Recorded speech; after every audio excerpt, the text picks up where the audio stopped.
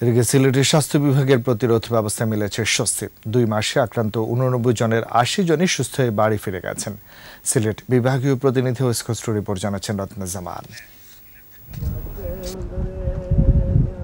জাফলং, জৈন্তাপুর সহ পর্যটন এলাকাগুলোতে পর্যটকদের ফেলে যাওয়া প্লাস্টিক সামগ্রীতে পানি জমে জন্ম নেয় এডিস মশা।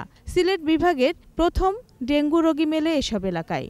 স্বাস্থ্য কর্মকর্তারা বলছেন তাদের প্রতিরোধ ব্যবস্থায় তেমন ছড়াতে পারেনি প্রাণঘাতী রোগটি। রোগী সবচেয়ে খারাপ যে জিনিসটা বা যেটা সংখ্যাজনক সেটা হচ্ছে যে উপজেলা পর্যায়ে পাওয়া যাচ্ছে। আমরা জানতাম যে ডেঙ্গু রোগীগুলো হয় কিন্তু এবার আমরা সেই ব্যারিয়ারটা ভেঙে আমাদের গোয়াইনঘাট উপজেলা জমিটাতে এই দুটো জায়গায় এফেক্টেড হচ্ছে। ডেঙ্গু চিকিৎসায় প্রস্তুত সিলেট ওসমানী মেডিকেল হাসপাতালের তিনটি ওয়ার্ড। তেমন গুরুতর নয় এখনও চিকিৎসাধীন নয়জন রোগীর অবস্থাও। আমরা এখানে টোটাল সর্বমোট টেস্ট করছি হলো একচল্লিশটা টেস্ট করছি। এর মধ্যে আমাদের এখানে পজিটিভ আসছে ছয়জন। রুগী ভর্তি হয়েছে উনচল্লিশ জন টোটাল তার মধ্যে বত্রিশ জনই সুস্থ হয়ে বাড়িতে ফিরে গেছে। ডেঙ্গু পরিস্থিতি স্বাভাবিক সিলেট নগরে।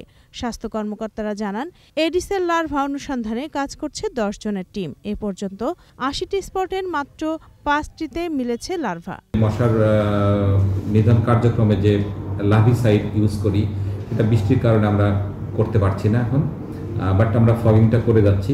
বাট আমরা হাউস টু হাউস সার্চিং এবং যে সমস্ত সম্ভাব্য স্থানে এডিসের লার্ভা পাওয়া যেতে পারে, সেই জায়গাগুলোতে আমাদের সার্চিং প্রোগ্রাম রীতিমতো চলছে।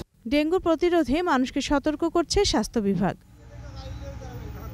রত্না জামান, একুশে টেলিভিশন।